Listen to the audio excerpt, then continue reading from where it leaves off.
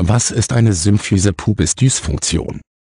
Eine Symphyse pubis Dysfunktion ist eine Erkrankung, die vor allem Frauen während der Schwangerschaft und der Geburt trifft.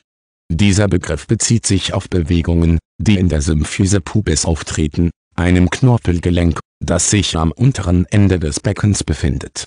Das Gelenk ist so flexibel, dass es sich während der Schwangerschaft und bei der Geburt bewegen kann, so dass die Geburt fortgesetzt werden kann. Wenn eine Symphyse pubis Dysfunktion auftritt, ist das Ausmaß der Bewegung, die das Gelenk durchlaufen kann, übermäßig groß, was zu Schmerzen und Bewegungsstörungen führt. Die Symphyse pubis wird durch Bänder und Muskeln zusammengehalten und gestärkt, so dass das Gelenk während der Bewegung stabil bleibt. Eine erwachsene Frau hat einen Abstand von ungefähr 5 mm zwischen den beiden Knochen des Gelenks Während der Schwangerschaft kann sich dieser Abstand auf 8 mm vergrößern, ohne dass Probleme auftreten. Wenn sich der Spalt auf 9 mm oder mehr erweitert, kann das Symphysis pubis Gelenk instabil werden. Es wird angenommen, dass dieser Zustand als Ergebnis der Sekretion eines Hormons namens Relaxin auftritt.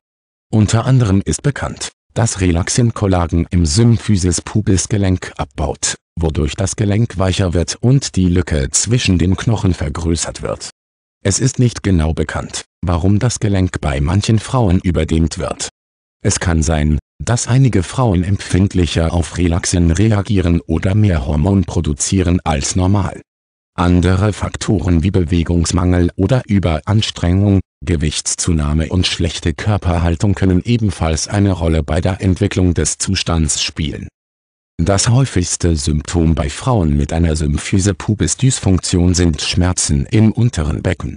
Die Art der Schmerzen kann variieren, wobei Frauen brennende, stechende und schießende Schmerzen sowie anhaltende Schmerzen oder Beschwerden berichten. Die Schmerzen können vom unteren Becken bis zum Bauch, Rücken, Leiste, Damm und Oberschenkeln reichen. Infolgedessen sind Gehstörungen häufig. Frauen, die an dieser Erkrankung leiden, haben oft Schwierigkeiten, Treppen zu steigen, auf einem Bein zu stehen oder sich zu lehnen und sich aus einer sitzenden Position zu erheben. Bis zu 25 Prozent der Frauen leiden während der Schwangerschaft unter Symptomen der Pubertät.